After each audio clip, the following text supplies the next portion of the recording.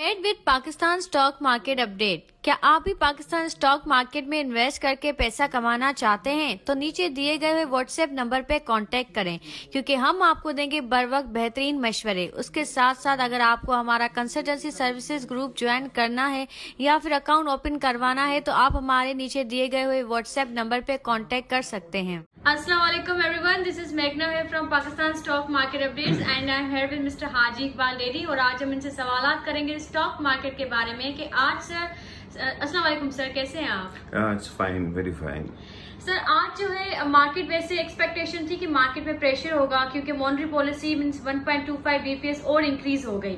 तो आज market positive होने के पीछे क्या रीजन हैं? आज देखो एक तो रीजन ये था कि मार्केट पहले तो डिप्रेस इसलिए हो गई कि बारिश कराची के अंदर इतना हुआ था जैसे फ्लड आ गया था तो हाँ। लोग कम पहुँचे थे मार्केट के अंदर और मार्केट में जो सवा परसेंट भरा था ना हम्म। वो एक नेगेटिव खबर थी तो लोग जिसको भी आप पूछो ना तो वो एक ही बात करते थे कि माल नहीं लेना चाहिए नहीं लेना चाहिए हम्म। इसके बाद एक गुड न्यूज़ आ गई कि आईएमएफ एग्री हो चुका है और उन्होंने कहा है कि आप लोगों ने हमारे जो जो वो थे ना सारी चीज़ें वो कंडीशनल वो आप हर चीज़ आपने पूरी कर दी है। तो ये न्यूज़ आई ना ये न्यूज़ के बाद मार्केट पिकअप करने लगी और अच्छी यहाँ से रैली चलने लगी। और दूसरी बात मैं आपको बताऊँ देखो ना सवा परसेंट घटने के बाद भी आपकी मार्केट इतनी घटी नहीं। हाँ। इसका मतलब ये है कि मार्केट में बहुत ही स्ट्रेंथ है। देखो ना हम तो आठ नौ महीने से बोलते हैं कि मार्केट में बहुत ही स्ट्रेंथ है और आपको ये शेयर्स जो मिल रहे हैं ना ये जो पैसे लगा रहे टी बिल में उसमें इसमें ये आपको उससे भी ये चीज़ें आपको डबल देगी। मैं आपको एक छोटी सी मैं मिसाल बता दूँ। hmm. Sui northern was trading at thirty one rupees last week आज चालीस रुपए है। तो आप उसको तो देखो ये तो तकरीबन हो गया आपको कितना अच्छा गेंद दे गया। Yes, तो दूसरी बात ये है कि ऐसी बहुत सी आइटमें हैं। मार्केट हम्म। देखो ना आप ओ देखो कैसा परफॉर्मेंस कर रही है मार्केट के अंदर बहुत अच्छे शेयर्स हाँ। है लेने के लिए और जो इंटरेस्ट रेट का जो लोगों को डर था ना एक फियर था वो फियर निकल गया है इसलिए हाँ। एक निकलना चाहिए कि ये मार्केट है ये कोई गेम्बलिंग प्लेस नहीं है जो लोग बोलते हैं कि 80 परसेंट यहाँ गेम्बलर है कोई गेम्बलर नहीं है वैसे सर वैसे सर अभी आपने कहा कि मार्केट जो है वो आपको बहुत अच्छा रिटर्न देती है इस compare to bank and treasury bills लेकिन देखा जाए तो मार्केट जो है पूरा साल जैसे इंटरेस्ट रेट अभी बढ़ गया 1.25 बीपीएस दोबारा बढ़ गया तो ये पूरा साल तो इंटरेस्ट रेट ऐसा ही रहेगा। और आईएमएफ की न्यूज़ अभी आई है तो मार्केट अच्छी परफॉर्म कर रही है। ये शॉर्ट टाइम पीरियड के लिए या लॉन्ग टाइम इसका इफ़ेक्ट पॉजिटिव रहेगा? देखो लॉन्ग टाइम इसका रहेगा, मगर आप शॉर्ट टाइम में भी थोड़ा थोड़ा प्रॉफिट कीजिए। देखो कोई आपको जो थोड़ा बहुत प्रॉफिट मिलता है तो उसको आधा आप सेल ऑफ़ कर दीजिए। और दूसरी बात ये है कि यहाँ से भी मार्केट के चांसेस बहुत बड़े हैं। देखो एक फियरनेस थी कि यहाँ इंटरेस्ट रेट इतना बढ़ जाएगा और मार्केट घट नहीं रही थी। इसका मतलब ये है कि लोगों को माल लेना है अच्छे इन्वेस्टर आएँगे यहाँ पर। और मुझे लग रहा है देखो आज से ये लोग जो अपने को जो पाकिस्तान की जो सबसे बड़ा बेनिफिट हुआ है ना ऑयल का हुआ है। 95 डॉलर्स हो गया है और मुझे लग रहा है आज या कल ये ऑयल के दाम भी कम से कम बीस रुपए घटाएँगे। तो वो भी पाकिस्तान के लिए बहुत ही बेनिफिट है। और अभी मुझे लग रहा है फर्दर ये अच्छी खबरें आपको सुनने में मिलेगी। वैसे सर ये न्यूज़ तो आ गई है कि गवर्नमेंट आगे फोर्टी फाइव रुपीज़ ऑयल का जो रेट है वो डिक्रीज करेगी। इंटरनेशनल मार्केट में भी क्रूड ऑयल का रेट डिक्रीज हुआ है। तो इसका क्या पॉजिटिव इम्पेक्ट आएगा ऑयल एंड गैस इंडस्ट्री पे? ये देखो पाकिस्तान ये जो करेगी ना इसकी वजह से ऑयल एंड गैस को में दूसरी आइटम है ना हम्म। उस उन पर इनका बहुत ही अच्छा इम्पेक्ट आएगा। हाँ इनका बहुत अच्छा इम्पेक्ट आएगा। छोटी छोटी आइटम है दूसरी आइटम है उनकी इसकी वजह से मार्केट में रैली भी चलेगी अच्छे दाम भी आपको मिलेंगे। और ऑयल मुझे लग रहा है यहाँ से फर्दर 10-15 डॉलर नीचे आएगा। देखो ना बुरी खबरें तो सब इतने अरसे तक चलिए। आप कॉमोडिटी के दाम देख लीजिए। बहुत नीचे आए हैं। तो मुझे लग रहा है यहाँ से मार्केट भी अच्छी रहेगी ऑयल नीचे आएगा।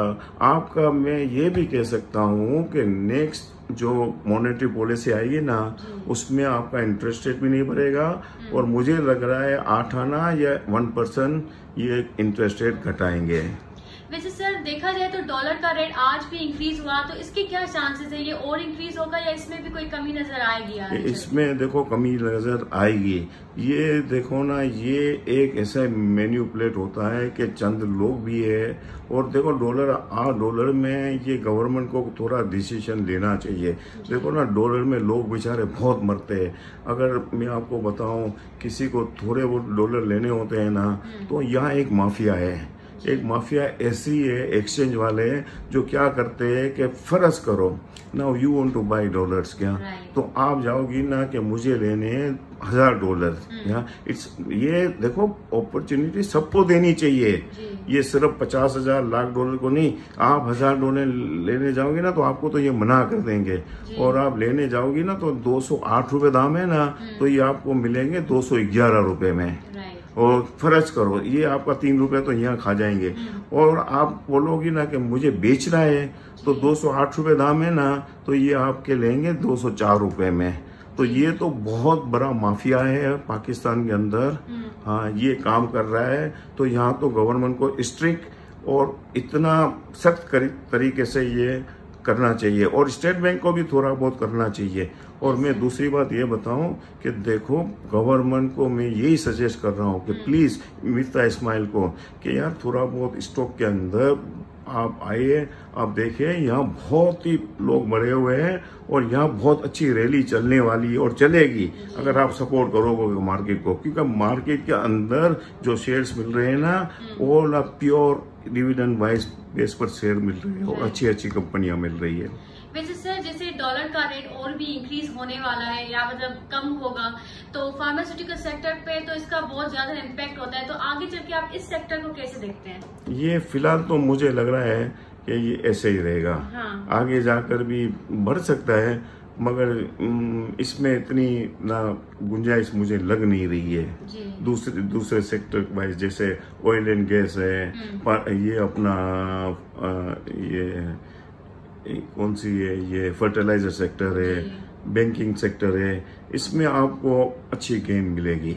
राइट और सर उसके अलावा जैसे आपने अभी कहा कि ऑयल एंड गैस सेक्टर जो है वो एक्सपेक्टेशन है कि आगे चल के उसके रेट अच्छे ही होंगे और अच्छा परफॉर्म करेगा तो आप कौन से शेयर सजेस्ट करेंगे इन्वेस्टर्स को? देखो मेरे हिसाब से तो ओजीडी इज़ द बेस्ट हाँ, बहुत ये ये आज नहीं ये तो कुछ भी नहीं किया है ये तो इट्स आपको ये बहुत ही अभी भी ये बहुत ही बिलो द रेट मिल रहे हैं क्या इसका तो दाम ही आपको तकरीबन बस तीन फिगर से ऊपर ही होना चाहिए। मैं पीएसओ इसकी अर्निंग बहुत अच्छी है ये ओजीडीसी अच्छा है पीपीएल भी अच्छा है, पाको they are very good buying shares क्योंकि ये आपको, अगर आपके पास रह भी जाते हैं ना तो you get every three months you get dividend तो ये शेयर्स में तो बिल्कुल लोगों को फ़िक्र ही नहीं करनी चाहिए और हम तो लोगों को यही बोलते हैं देखो ना इतना ज़्यादा नेगेटिव मत लो ये बहुत बड़ी मार्केट है ये मार्केट में मार क्यों खाते हैं? चंद लोगों की वजह से और मैनेजमेंट ऑफ़ स्टॉक एक्सचेंज और एससीसीपी क्योंकि ये कुछ कर नहीं रहे ये थोड़ा बहुत अगर ध्यान देवे ना क्योंकि देखो ना मार्केट के अंदर हम बोल बोल कर थक गए हैं कि तकरीबन डेढ़ सौ कंपनियाँ हैं जो तकरीबन 120 पंद्रह कंपनियाँ हैं जो डिफ़ॉल्ट काउंटर पर है जो सस्पेंशन है। उनका ये लोग कर ही नहीं रहे इनको करना चाहिए लोगों के रुपए डूब गए हैं। ये सर और इसमें बहुत सारे लोग जो है वो अभी तक फंसे हुए भी हैं। तो आगे चल के ये जो है इन्वेस्टर के कॉन्फिडेंस पे नेगेटिव इम्पैक्ट आता है। तो आप मतलब क्या आ, आ, क्या मतलब आप सजेस्ट करना चाहेंगे इन्वेस्टर्स को?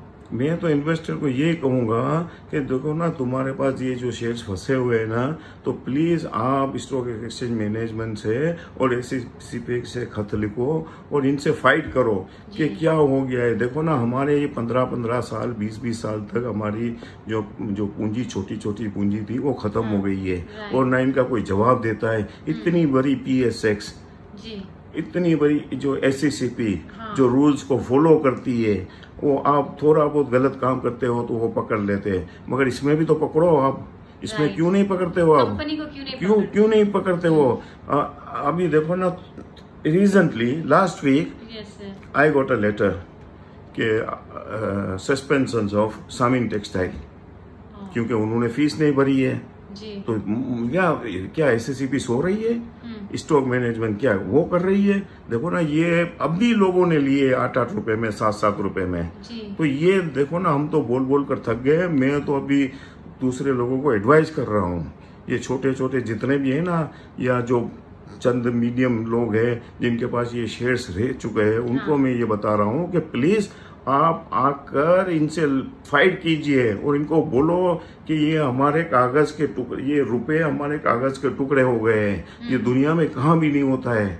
आप इतनी इतनी हैंडसम सैलरियाँ लेते हो आपका काम क्या है? आपका काम ये है कि पहले ये करो। यस सर हाँ।